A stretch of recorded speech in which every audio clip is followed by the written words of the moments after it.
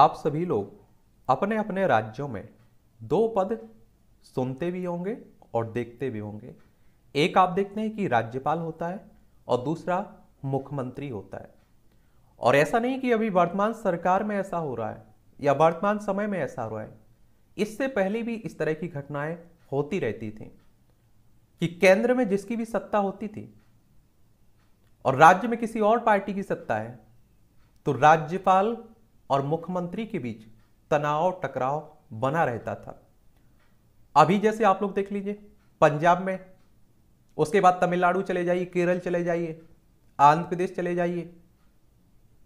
आप लोग छत्तीसगढ़ देख लीजिए, राजस्थान देख लीजिए, पश्चिम बंगाल देख लीजिए, या आप लोग दिल्ली में देख लीजिए, यहाँ के उपराज्यपाल, दिल्ली में उपराज्यपाल और मुख्यमंत्री के बीच टकराव आपको देखने को मिल रहा है, शक्तियों को लेकर। और मुख्यमंत्री ये आरोप लगा रहे हैं कि इनके कारण, राज्यपालों के कारण लोकतंत्र खतरे में, लोकतंत्र की जड़ कमज़ोर हो रही है। ऐसा इसलिए कहा जा रहा है क्योंकि आप सभी जानते हैं कि मुख्यमंत्री चुना हुआ होता है और उसे हर पाँच साल में जनता के बीच जाना होता है, वोट मांगने के लिए। लेकिन राज्यपाल की नियुक्ति होती है और राज्यपाल अक्सर ये देखा जाता है कि केंद्र में जिसकी सरकार रहती है ना, उसी के हिसाब से काम करता है। और आप लोग देख लीजिए, कर्नाटक में, कर्नाटक के जो राज्यपाल हैं, वो एक समय आप देखिए केंद्रीय मंत्री थे, भारतीय जनता पार्टी के नेता है। अब आप देखिए कर्नाटक में सरकार बदल चुकी है, कांग्रेस की सरकार आ चुकी है, और राज्यपाल किसके हैं? बीजेपी के हैं। तो दोनों में वहाँ भी टकराव देखने को मिलेगा। तो आज हम लोग राज्यपाल के पद के बारे में एक सामान्य जानकारी देखेंगे। संविधानिक प्रावधान क्या कहता है? और आप देखते हैं कि सुप्रीम कोर्ट में भी कई बार ये मामला जा चुका है तो उस मामले के बारे में भी हम लोग बात करेंगे। और इनकी राज्यपाल की शक्तियाँ आखिर होती क्या है, उसे भी हम लोग देखेंगे। तो सबसे पहले हम लोग संविधानिक प्रावधान की बात करते हैं आपके राज्यपाल के बारे में। तो भारतीय संविधान के अनुच्छेद एक सौ तिरपन को अगर आप लोग पढ़ेंगे इसके तहत प्रत्येक राज्य के लिए एक राज्यपाल का प्रावधान किया गया है।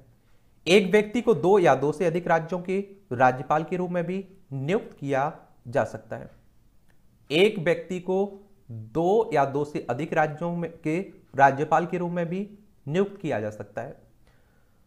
यह अनुच्छेद एक सौ तिरपन आपको याद रखना है। राज्यपाल को राष्ट्रपति द्वारा अपने हस्ताक्षर और मुहर सहित अधिपत्र द्वारा नियुक्त किया जाता है। वह राष्ट्रपति के पश्चात पर्यंत पद धारण करता है। ये कौन करता है? अनुच्छेद 155 और छप्पन कहता है। एक बार आप लोगों को ये सभी आर्टिकल बता देता हूँ। अगर अनुच्छेद एक को आप लोग पढ़ेंगे तो ये राज्यों की राज्यपाल से संबंधित है। अनुच्छेद एक सौ चौवन कहता है कि राज्य की कार्यपालिका शक्ति की बात करता है। अनुच्छेद 155 में राज्यपाल की नियुक्ति की बात की गई है। अनुच्छेद एक सौ छप्पन में राज्यपाल की पदावधि की बात की गई है। अनुच्छेद एक में राज्यपाल की नियुक्ति होने के लिए क्या अर्हताएँ होनी चाहिए? उसकी बात की गई है। अनुच्छेद एक में राज्यपाल के पद के लिए शर्तें क्या होनी चाहिए? उसकी बात की गई है। अनुच्छेद एक सौ उनसठ में राज्यपाल द्वारा शपथ या प्रतिज्ञान की बात की गई है। अनुच्छेद 160 में कुछ आकस्मिकताओं में राज्यपाल के कृत्यों का निर्वहन की बात की गई है। अनुच्छेद 161 में क्षमा आदि की और कुछ मामलों में दंडादेश के निलंबन और परिहार या लघुकरण की राज्यपाल की शक्ति की बात की गई है। अनुच्छेद एक सौ बासठ में आप देखेंगे राज्य की कार्यपालिका शक्ति का विस्तार विस्तार की बात की गई है। एक क्या होता है? कई बार आप देखते हैं कि अनुच्छेदों से भी क्वेश्चंस पूछ लिए जाते हैं। और आप देखते हैं कि राष्ट्रपति किसकी सलाह पर काम करता है? मंत्रिपरिषद की। आज आप लोगों को उदाहरण देकर बताता हूँ। आपको लगता है कि अगर आप देखिए प्रधानमंत्री साहब या प्रधानमंत्री साहब की मंत्रिमंडल किसी नाम को सुझाए कि उत्तर प्रदेश का गवर्नर यानी कि राज्यपाल इस व्यक्ति को बनाना है। तो क्या राष्ट्रपति साहब मना कर पाएँगे? क्योंकि राष्ट्रपति को किसने बनाया है? द्रौपदी मुर्मू को राष्ट्रपति किसने बनाया है? बीजेपी ने। तो डायरेक्ट कहिए चाहे ना करिए, लेकिन इनडायरेक्ट आप देखेंगे कि सत्ता पक्ष के प्रभाव में ही काम किया जाता है। ठीक है? और अनुच्छेद 161 में कहा गया है कि राज्यपाल के पास क्षमा आदि की और कुछ मामलों में दंडादेश की निलंबन, परिहार या लघुकरण की शक्ति की बात की गई है। एक बड़ा चर्चित वक्तव्य कहा जाता है हमारे देश के राष्ट्रपति के बारे में, कि हमारे देश के राष्ट्रपति के पास इतनी मात्र शक्तियाँ हैं कि वो अपने से एक कह सक, खाना खा सकता है कि कौन सा खाना खाना है, कौन से कपड़े पहनना है। ना मात्र की शक्तियाँ हैं उसके पास। उसे दिखावा एक तरह से दिखा दिया गया है कि इसके पास शक्तियाँ हैं, ठीक है? सर्वोच्च न्यायालय द्वारा यह निर्णय दिया गया था कि किसी बंदी को क्षमा करने की राज्यपाल की सक... राज्यपाल की संप्रभु शक्ति वास्तव में स्वयं उपयोग किए जाने के बजाय राज्य सरकार के साथ आम सहमति से प्रयोग की जाती है। और सरकार की सलाह राज्य प्रमुख राज्यपाल पर बाध्यकारी होगी, क्योंकि आप देखते हैं कि मुख्य शक्तियाँ तो राज्य सरकार के पास होती हैं। वही करता धरता होता है, वही आप देखते हैं कि हिसाब देता है, जनता के प्रति जाता है, जनता के बीच जाता है। कुछ विवेकाधीन शक्तियों के अतिरिक्त राज्यपाल को उनके अन्य सभी कार्यों में सहायता करने और सलाह देने के लिए मुख्यमंत्री की अध्यक्षता में एक मंत्रिपरिषद के गठन किए जाने का प्रावधान है। किसमें? अनुच्छेद एक में यह कहा गया है। विवेकाधीन शक्तियों में अगर आप देखें तो राज्य विधानसभा में किसी भी दल का स्पष्ट बहुमत न होने पर मुख्यमंत्री की नियुक्ति। मान लीजिए कोई राज्य है, वहाँ आप देखते पूर्ण बहुमत नहीं मिलता है किसी पार्टी को। तो उस मामले में आप देखिए राज्यपाल के पास विवेकाधीन शक्ति है कि वो किसी भी व्यक्ति को मुख्यमंत्री बना सकता है। लेकिन अक्सर यहाँ भी देखा जाता है कि ऐसे व्यक्ति को मुख्यमंत्री बनाया जाता है। जो बहुमत जुटाने में एक तरह से जुटा सकता है, आशा हो उससे। और अक्सर ये देखा जाता है कि पहले सबसे बड़ी पार्टी के नेता को सत, या सरकार बनाने के लिए न्योता दिया जाता है, फिर दूसरे नंबर की, फिर तीसरे नंबर की, फिर इस तरह से ऐसे भी व्यक्ति को मुख्यमंत्री बनाया जा सकता है, सरकार बनाने का न्योता दिया जा सकता है, जो आप देखते हैं कि बहुमत जुटाने में सक्षम हो। या आप देखिए, अविश्वास प्रस्ताव के दौरान भी राज्यपाल के पास विवेकाधीन शक्तियाँ होती हैं। राज्य में संवैधानिक तंत्र की विफलता के मामले में, अनुच्छेद तीन सौ छप्पन में, जो राष्ट्रपति शासन की बात करता है ना, उसी की बात हो रही है। तो ये तीन विवेकाधीन शक्ति आपको याद रखना है। अनुच्छेद 200 क्या कहता है? आर्टिकल 200 क्या कहता है? भारतीय संविधान का अनुच्छेद 200 किसी राज्य की विधानसभा द्वारा पारित विधेयक को, पारित विधेयक को सहमति के लिए राज्यपाल के समक्ष प्रस्तुत करने की प्रक्रिया को रेखांकित करता है। जो या तो सहमति दे सकता है या सहमति को रोक सकता है। या राष्ट्रपति के विचार के लिए विधेयक को आरक्षित कर सकता है। राज्यपाल सदन या सदनों द्वारा पुनर्विचार का अनुरोध करने वाले संदेश के साथ विधेयक को वापस भी कर सकता है। ये राज्यपाल की शक्तियों की बात हो रही है। पुरुषोत्तम नमुंदरी बनाम केरल राज्य के मामले में सर्वोच्च न्यायालय ने निर्णय सुनाया था कि राज्यपाल की सहमति के लिए लंबित विधेयक सदन के भंग होने पर व्यवगत नहीं होता है। न्यायालय ने अनुच्छेद 200 और 201 की समय सीमा की अनुपस्थिति से यह निष्कर्ष निकाला कि निर्माताओं का इरादा राज्यपाल की सहमति की प्रतीक्षा करने वाले बिलों के समाप्त होने का जोखिम नहीं था। अनुच्छेद 200 का दूसरा प्रावधान क्या कहता है? दूसरा प्रावधान राज्यपाल को किसी विधेयक को राष्ट्रपति को संदर्भित करने का विवेकाधिकार देता है।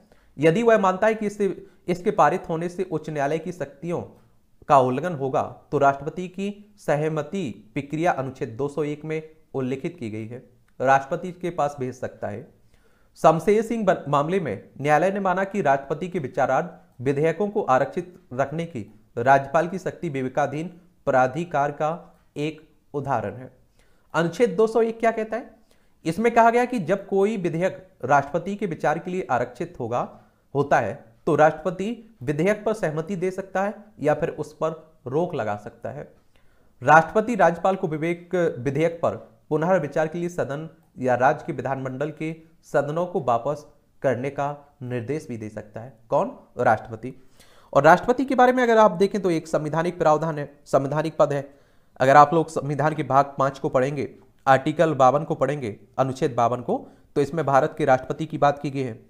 अनुच्छेद तिरपन में संघ की कार्यपालिका शक्ति की बात की गई है, अनुच्छेद चौवन में राष्ट्रपति के निर्वाचन की बात की गई है, अनुच्छेद पचपन में राष्ट्रपति के निर्वाचन की रीति की बात की गई है, अनुच्छेद छप्पन में राष्ट्रपति की पदावधि की बात की गई है, अनुच्छेद संतावन में पुनर्निर्वाचन के लिए पात्रता की बात की गई है, अनुच्छेद अंठावन में राष्ट्रपति निर्वाचित होने के लिए क्या अर्हताएँ होनी चाहिए, उसकी बात की गई है, अनुच्छेद उनसठ में राष्ट्रपति पद के लिए क्या शर्तें होनी चाहिए, उसकी बात की गई है अनुच्छेद साठ में राष्ट्रपति द्वारा शपथ या प्रतिज्ञान की बात की गई है। अनुच्छेद इकसठ में राष्ट्रपति पर जो महाभियोग चलाने की प्रक्रिया होती है ना, उसकी बात की गई है। तो ये भी आप लोग याद रखिएगा। अनुच्छेद 361 क्या कहता है? संविधान के अनुच्छेद 361 के तहत राज्यपाल को अपनी शक्तियों द्वारा किए गए किसी भी कार्य हेतु न्यायालयी कार्यवाही से पूर्ण छूट प्राप्त है, तीन सौ इकसठ के तहत। भारत में विधेयकों पर राज्यपाल द्वारा अनुमति रोकने रोके जाने के अगर उदाहरण देखें तो अप्रैल 2020 में आपने देखा होगा छत्तीसगढ़ के राज्यपाल ने 2019 में राज्य विधानसभा द्वारा पारित एक विधेयक पर सहमति रोक दी थी, जिसमें छत्तीसगढ़ लोकायुक्त अधिनियम 2001 की धारा आठ पाँच में संशोधन करने की मांग की गई थी।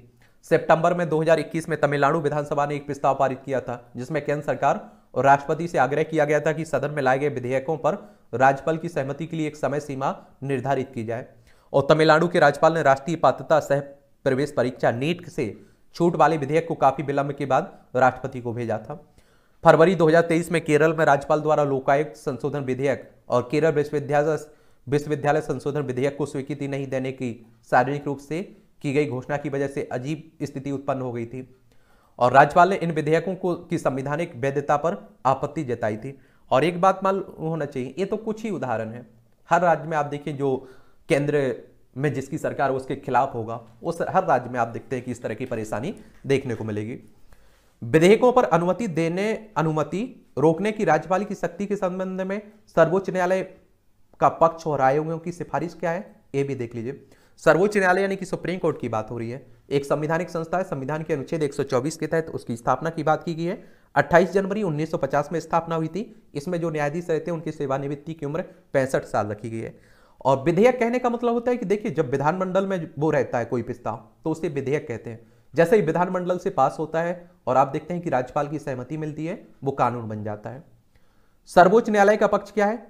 नबाब, नबाम, रिबिया बामंग, फेलिक्स बनाम उपाध्यक्ष मामले में सर्वोच्च न्यायालय ने, के फैसले ने स्पष्ट किया कि अनुच्छेद 200 के तहत राज्यपाल का विवेकाधिकार, यह तय करने तक सीमित है। कि किसी विधेयक को राष्ट्रपति के विचार हेतु आरक्षित किया जाना चाहिए या नहीं।